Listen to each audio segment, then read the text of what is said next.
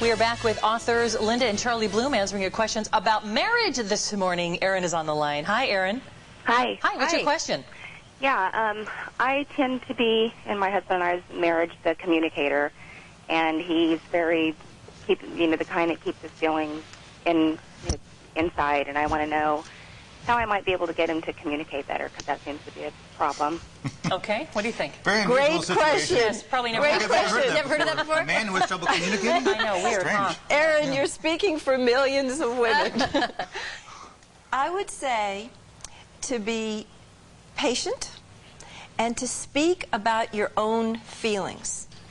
And this is good teaching, which is modeling.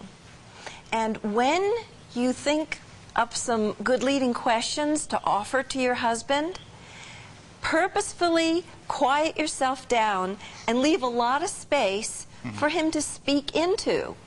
Often women are really good communicators. They're really in touch with their feelings, all the nuances, and they tell it in great elaborate detail.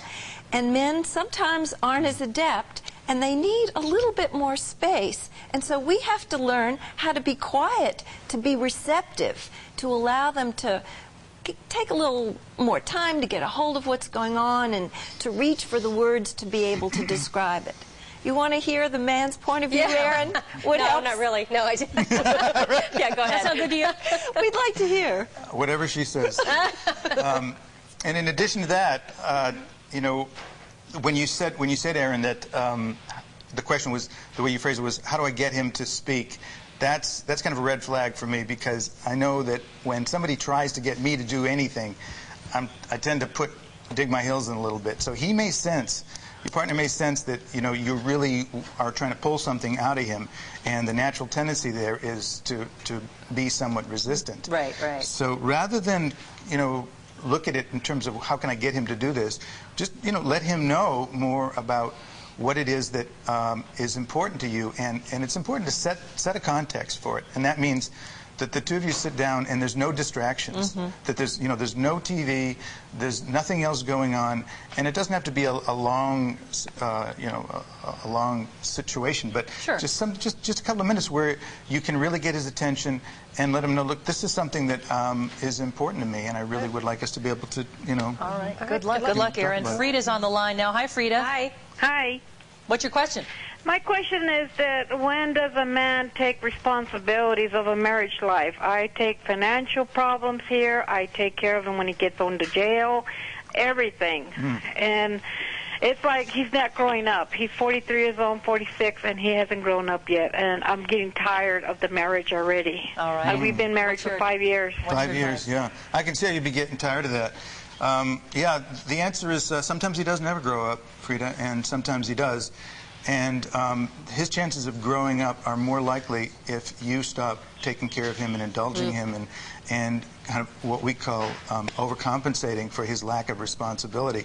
And what that means is you've got to be willing to take a stand and, and take the risk of uh, possibly having him uh, leave you or get angry or uh, you know refuse to grow up. But I'd say that unless you do that, it's very unlikely that anything's going to change there. All right, good luck. Re- uh, Renee is on the line with us this morning. Good morning, Renee.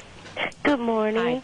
Hi. my name is Renee, and I have a question. I've been married to my husband for 13 years, and he's never talked about his childhood life. Should that be something to be concerned about? Well, childhood spans a long period of time. And I would say that you two are both missing a good opportunity to know each other more deeply if that piece is left out. It's a red flag for me that there may be some painful memories associated with it. So he may, in some way, have put it in a compartment and closed the door on it because he doesn't want to feel those unpleasant feelings. And I would say be an inviting space for him to speak into. Tell him about how much you would like to be closer with him and that it would help you to know him better if you would know more about his beginnings. All right, very good. And also, again, the book is called 101 Things I Wish I Knew When I Got Married. Uh, it's in bookstores now. We're going to link your website, bloomwork.com.